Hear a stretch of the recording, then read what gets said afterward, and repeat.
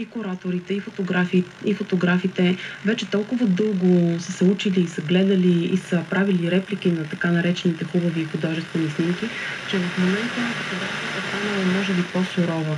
А, да, от художествена гледна точка, говоря като композиция, прави хоризонти, а, неща, които всички сме учили а, дори в най-основните курсове по фотография. А, в момента фотографията е станала по-богата от, от към емоция, послание и въздействие.